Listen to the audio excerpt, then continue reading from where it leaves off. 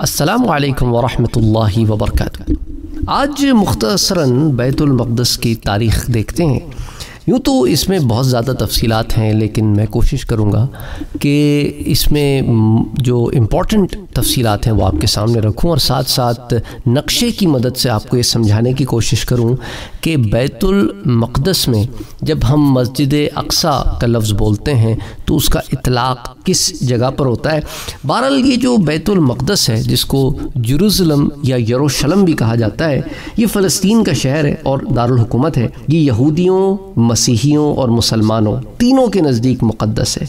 यहाँ हज़रत सुलेमान सलाम का तामीर करदा माबद है, जो बनी इसराइल के नबियों का कबला था। और इसी शहर से इनकी तारीख़ वाबस्ता है। ईसा सलाम की तबलीग का मरकज़ भी यही शहर था।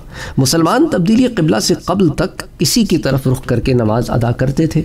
बैतुलमक़दस को अलक़ुद्स भी कहते हैं। यहाँ मुसलमानों का कबला अव्वल मस्जिद अक्सा और क़ुब्बतुलसखरा वाक़ है। मक्का मुकरमा से बैतुलमक़दस का फ़ासला तकरीबन तेरह सौ किलोमीटर है। बैतुल्लहम और अल खलील इसके जुनूब में और रमल्ला इसके शुमाल में वाक़ है। यरूशलेम का अरबी ज़बान में जो नाम है वो अलक़ुद्स है, जिसे कदीम मुसनफ़ीन आम तौर पर बैतुलमक़दस लिखते हैं। दरअसल इससे मुराद हैकल सुलेमानी था, जो इब्रानी बैत हम कुदश का तर्जुमा है। लेकिन बाद में इस लफ्ज़ का इतलाक़ तमाम शहर पर होने लगा। बैतुलमक़दस को यूरोपी ज़बानों में जरूसलम या यरूशलम कहते हैं। बैतुलमक़दस से मुराद वो मुबारक घर या ऐसा घर है जिसके ज़रिए गुनाहों से पाक हुआ जाता है। पहली सदी कबल मसीह में जब रूमियों ने यरूशलम पर कब्ज़ा किया तो उन्होंने इसे ईलिया का नाम दिया था। बैतुलमक़दस पहाड़ियों पर आबाद है और इन्हीं में से एक पहाड़ी है जिसका नाम है कोह सेहून जिस पर मस्जिद अक्सा और क़ुब्बतुलसखरा वाक़ कोह सेहून के नाम पर ही यहूदियों की आलमी तहरीक सेहूनियत जिसको आप जायोनिज़म कहते हैं, वो कायम की गई। सबसे पहले हज़रत इब्राहीम आसमाम और उनके भतीजे हज़रत लूत आसमाम ने इराक़ से बैतुलमक़दस की तरफ़ हिजरत की थी। 620 ईस्वी में हुजूर अकरम सल्लल्लाहु अलैहि वसल्लम हज़रत जब्राईल अमीन की रहनुमाई में मक्के से बैतुलमक़दस पहुँचे और फिर मेराज आसमानी के लिए तशरीफ़ ले गए। हज़रत याकूब आसमाम ने वही इलाही के मुताबिक मस्जिद बैतुलमक़दस यानी मस्जिद अक्सा की बुनियाद डाली और इसकी वजह से बैतुलमक़दस आबाद हुआ। फिर अरसा दराज के बाद हज़रत सलेमान आसमाम के हुक्म से मस्जिद और शहर की तामीर और तजदीद की गई। इसलिए यहूदी मस्जिद बैतुलमक़दस को हैकल सुलेमानी कहते हैं। हैकल सुलेमानी और बैतुलमक़दस को 586 कबल मसीह में शाहिब बाबुल, जो इराक़ से आया था, बुख्त नसर ने मिसमार कर दिया था, तबाह बर्बाद कर दिया था और एक लाख यहूदियों को ग़ुलाम बनाकर अपने साथ वो इराक़ ले गया था। बैतुलमक़दस के इसी दौर बर्बादी में हज़रत उज़ैर सलाम का वहाँ से गुज़र हुआ। उन्होंने इस शहर को वीरान पाया तो ताज्जुब ज़ाहिर किया कि ये शहर फिर कभी आबाद होगा। इस पर अल्लाह ताला ने उन्हें सौ साल के लिए मौत दे दी और जब उठाए गए तो ये देखकर हैरान हुए कि सौ साल बीत गए हैं और तमाम मामला जो है, वो अल्लाह ताला ने उन पर मुनकशिफ किया जो मैं आपको तफसील पहले दे चुका हूँ। बहरहाल, मुख्तसर के बाद five hundred and thirty nine कबल मसीह में शहनशाह फ़ारिस जिसे आप कहते हैं सायरस आज़म शरोश कबीर उसने बाबुल फतह करके बनी इसराइल को फ़लस्तीन वापस जाने की इजाज़त दे दी। यहूदी हुक्मरान हेरोद आज़म के ज़माने में यहूदियों ने बैतुलमक़दस शहर और हैकर सलमानी फिर तामीर कर लिए। यरूशलेम फिर दूसरी तबाही इस पर रूमियों के दौर में नाजिल हुई कि एक रूमी जनरल था, जिसका नाम था टाइटस। उसने सेवेंटी ईस्वी में यरूशलेम और हैकल सलेमानी दोनों मिसवार कर दिए। One hundred and thirty seven कबल मसीह में रूमी शहनशाह हेड्रीन ने शोरीदा सर यहूदियों को बैतुलमक़दस और फ़लस्तीन से जिला वतन कर दिया। चौथी सदी ईस्वी में रूमियों ने ईसाइत कबूल कर ली और बैतुलमक़दस में गिरजे तामीर किए। जब हजूर अलैहि वसल्लम मेराज को जाते हुए बैतुलमक़दस पहुँचे, तब तक यानी दो हिजरी ब मुताबिक 624 ईस्वी तक बैतुलमक़दस ही मुसलमानों का कबला था। हती कि हुक्म इलाही के मुताबिक काबा यानी मक्के को कबला करार दे दिया गया। 17 हिजरी यानी कि 639 ईस्वी में अहद फ़ारूकी में ईसाइयों से एक माहदे के तहत बैतुलमक़दस पर मुसलमानों का कब्ज़ा हो गया। खलीफा अब्दुल मलिक के अहद में यहाँ मस्जिद अक्सा की तामीर अमल में आई और सखरा मेराज पर क़ुब्बतुलसखरा ये गोल्डन डोम बनाया गया। तो ये जो आप मस्जिद अक्सा देखते हैं ना, ये फिर उसी दौर की तामीर है कब? खलीफा अब्दुल मलिक के ज़माने की। अच्छा अब आ जाए 1099 ईस्वी में कि पहली सलीबी जंग के मौके पर यूरोपी सलीबियों ने बैतुलमक़दस पर कब्ज़ा करके सत्तर हज़ार मुसलमानों को शहीद कर दिया। 1187 ईस्वी में सुल्तान सलाउद्दीन नयूबी ने बैतुलमक़दस को ईसाइयों के कब्ज़े से छुड़ाया। पहली जंग अजीम, दिसंबर 1917 के दौरान में अंग्रेज़ों ने बैतुलमक़दस और फ़लस्तीन पर करके यहूदियों को आबाद होने की आम इजाज़त दे दी। यहूद नसारा की साजिश के तहत नवंबर 1947 में अकवा मुतहदा की जनरल असम्बली ने धांधली से काम लेते हुए फ़लस्तीन अरबों और यहूदियों में तकसीम कर दिया। जब 14 मई 1948 को यहूदियों ने इसराइल के क़्याम का ऐलान कर दिया तो पहली अरब इसराइल जंग छिड़ गई। इस जंग के नतीजे में इसराइली फ़लस्तीन के 78 परसेंट, सेवेंटी फ़ीसद इलाके पर काबिज हो गए।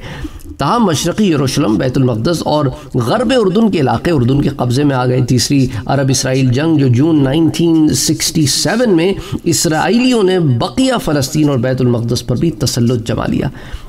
तो यूँ मुसलमानों का किबला अव्वल, यहूदियों के कब्ज़े में आ गया और यहूदी भी वो, जो जायनिस्ट हैं। तो यहूदियों के बकौल 70 ईस्वी की तबाही से हैकल सुलेमानी की एक दीवार का कुछ हिस्सा बचा हुआ है, जहाँ 2000 साल से यहूदी ज़ायरीन आकर रोया करते थे। इसीलिए ये दीवार एक गिरिया के नाम से मशहूर हुई। अब यहूदी मस्जिद अक्सा को गिराकर हैकल की तामीर करने का मंसूबा बनाते रहते हैं। इसराइल ने बैतुलमक़दस को अपना दारकूमत भी बना रखा है। मस्जिद अक्सा मुसलमानों के लिए खाना काबा और मस्जिद नबी के बाद तीसरा मुक़दस तरीन मुकाम है। मुकामी मुसलमान इसे अलमस्जिदुलअक्सा या हरम क़ुदसी शरीफ भी कहते हैं। ये मशरक़ी यरूशलम में वाक़ है, जिस पर आपको, जैसा मैंने बताया कि इसराइल का कब्ज़ा है, ये यरूशलम की सबसे बड़ी मस्जिद है, जिसमें पाँच हज़ार नमाजियों की गुंजाइश है, जबकि मस्जिद के सहन में भी हज़ारों अफराद नमाज़ अदा कर सकते हज़रत उमर फ़ारूक रदी अल्लाह तु के दौर खिलाफत में मुसलमानों ने बैतुलमक़दस को फ़तह किया तो हज़रत उमर रज़ी अल्लाह तु ने शहर से रवानगी के वक्त सखरा और बुराक सुराख बांधने की जगह के करीब मस्जिद तामीर करने का हुक्म दिया, जहाँ उन्होंने अपने हमराइयों समेत नमाज़ अदा की थी। यही मस्जिद बाद में मस्जिद अक्सा कहलाई, क्योंकि कुरान मजीद की सूरह बनी इसराइल के आगाज़ में इस मुकाम को मस्जिद अक्सा कहा गया है। इस दौर में बहुत से साहबा ने तबलीग इस्लाम और इशात दीन की खातिर बैतुलमक़दस में इकामत इख्तियार की। खलीफा अब्दुल मलिक बिन मरवान ने मस्जिद अक्सा की तामीर शुरू कराई और खलीफा वलीद बिन अब्दुल मलिक ने इसकी तामीर मुकम्मल की और इसको आरइश बख्शी। अब्बासी खलीफा अबू जाफ़र मंसूर ने भी इस मस्जिद की मुरम्मत कराई। पहली सलीबी जंग के बाद जब ईसाइयों का बैतुलमक़दस पर कब्ज़ा हो गया तो उन्होंने मस्जिद अक्सा में बहुत सारी चेंजेस की। उन्होंने मस्जिद में रहने के लिए कई कमरे बना लिए और इसका नाम माबद सुलेमान रखा और मुतद दीगर इमारतों का इजाफा भी किया, जो बतौर जाए ज़रूरत और अनाज की कोठियों के लिए इस्तेमाल होती थी। उन्होंने मस्जिद के अंदर और मस्जिद के साथ साथ गिरजा घर भी बना लिए। सुल्तान सलाउद्दीन अयूबी ने 1187 में बैतुलमक़दस फ़तह करने के बाद मस्जिद अक्सा को ईसाइयों के तमाम निशानात से पाक किया और महराब और मस्जिद को दोबारा तामीर किया। सलाउद्दीन ने किबला अव्वल की आज़ादी के लिए तकरीबन 16 जंगें लड़ी। 1948 में इसराइल के क़्याम के बाद यूरोप से आए हुए गासिब यहूदियों ने हज़ारों साल से फ़लस्तीन में आबाद फ़लस्तियों को उनकी ज़मीनों और जायदादों से बेदखल करके उन्हें कैंपों में नहायत बदतर हालत में ज़िंदगी बसर करने पर मजबूर कर दिया। 21 अगस्त 1969 को एक ऑस्ट्रेलवी यहूदी डेनिस माइकल रोहान ने किबला अव्वल को आग लगा दी जिससे मस्जिद अक्सा तीन घंटे तक आग की लपेट में रही और जुनूब मशरक़ी जानब एन किबले की तरफ़ का बड़ा हिस्सा गिर पड़ा। महराब में मौजूद मेंबर भी नज़र आतिश हो गया, जिसे सलाउद्दीन अयूबी ने फ़तेह बैतुलमक़दस के बाद नस्ब किया था। दरअसल यहूदी इस मस्जिद को हैकल सुलेमानी की जगह तामीर करदा इबादत समझते हैं और इसे गिराकर दोबारा हैकल सुलेमानी तामीर करना चाहते हैं। हालाँकि वो कभी भी बजरिया दलील इसको साबित नहीं कर सके कि हैकल सुलेमानी यहीं तामीर था। गुज्त आधी सदी से जायद अरसे के दौरान इसराइली यहूदियों की जारहाना कार्रवाइयों और जंगों में हज़ारों लाखों फ़लस्तनी मुसलमान शहीद, ज़ख्मी या बेघर हो चुके हैं और लाखों अफराद मकबूजा फ़लस्तीन के अंदर या आस पास के मुल्कों में, कैंपों में एक काबिल रहम हालत में ज़िंदगी गुजार रहे हैं। यूँ तो मौरखीन ने बैतुलमक़दस या बैतुलमक़दस की तारीख़ पर तीन तीन सौ सफ़ात की किताबें भी लिखी हैं। जैसा मैंने इस दर्ज के शुरू में आपसे ज़िक्र किया कि मुख्तसरा मैं कम वक्त में आपको मोटी मोटी बातें इस बारे में बताना चाहता हूँ। तो दरअसल मस्जिद अक्सा जो है ना, ये वो अक्सा मॉस्क जिसको आप कहते हैं ना अक्सा मॉस्क ये जो आप इमारत देखते हैं, ये यहाँ तक महदूद नहीं है। ये पूरा कंपाउंड है। ये सारा के सारा ये टेंपल माउंट के ऊपर बना हुआ, ये सारा जो है ना, ये अलहरम शरीफ ही कहलाता है। इसी में मुख्तलिफ़ इमारत हैं। इन्हें मुख्तलिफ़ इमारतों में से एक इमारत मस्जिद अक्सा है और उसी के साथ जो है, ये आपको दीवार गिरिया नज़र आएगी। और आगे जो है ये डोम ऑफ़ द रॉक इसके बारे में मैंने आपको बताया कि कब तामीर हुई।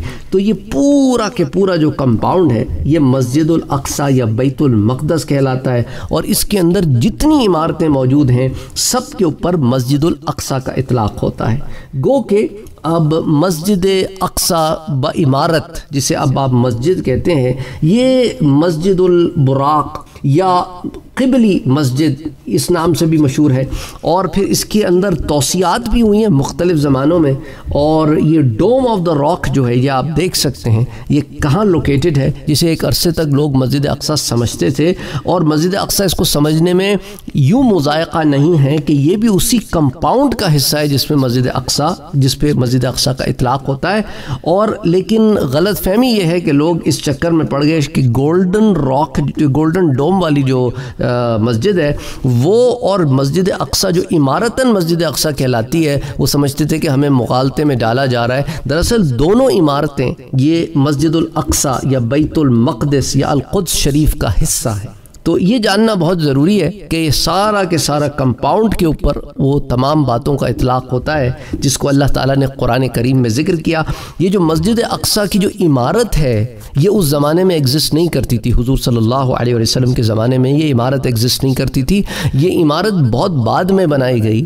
साहबा के दौर में स्टार्ट हुई और उसके बाद ताबईन के दौर में आकर जो है फिर इसकी तकमील हुई। तो और ये इमारत, ये वो इमारत है जिसके बारे में एक तरफ़ तो वो व्हीलिंग वॉल है जिस पर यहूद का ये कहना है कि यहाँ पर हैकल सुलेमानी था। बहरहाल ये तारीख़ के कुछ गोशे हैं जो मैंने आपके सामने रखे, अल्लाह ताला कबूल फरमाए।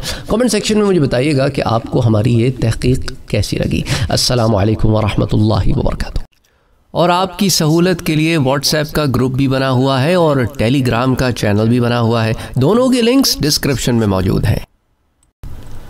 आपको रिमाइंड कराता चलूँ कि सैयद साद कादरी इंग्लिश चैनल एक है और इसी तरह मैंने अभी रिसेंटली सैयद साद कादरी कुरान रेसिटेशन का चैनल भी लॉन्च किया है। तो इन दोनों चैनल्स को विज़िट करना, इन्हें सब्सक्राइब करना, इनमें वीडियोस देखना ना भूलें। अगर आपने अभी तक हमारे चैनल को सब्सक्राइब नहीं किया है तो सब्सक्राइब का बटन दबाएँ, बेल के आइकॉन को प्रेस करें ताकि आपको रेगुलर नोटिफिकेशन अपडेट्स मिल सके और आप हमें हमारे लाइव सेशंस में भी ज्वाइन कर सकें। वीडियो पसंद आने की सूरत में लाइक शेयर और कमेंट करना ना भूलें।